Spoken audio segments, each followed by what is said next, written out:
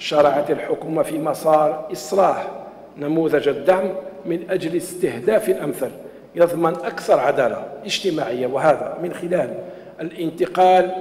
إلى نظام التحويلات النقدية لصالح الأسر المحتاجة مباشرة والتي ستستفيد من دخل إضافي كتعويض عن تعديل الأسعار المرتبطة بالتخلي عن نظام الدعم العام.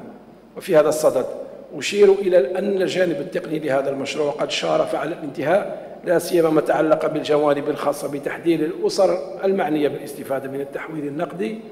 في ظل سهر الحكومة على التطبيق التدريجي لهذا الإصلاح بصفة سلسة تأخذ بعين الاعتبار التقييمات الدورية لنجاعة مشروع إصلاح سياسة دعم الدولة للمواد الاستهلاكية واسعة الاستهلاك. وكما أشرت إليه فإن في تقديم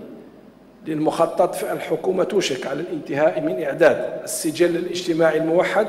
الذي سيسمح أيضا بإضفاء المزيد من الشفافية والنجاعة والعدالة واستهداف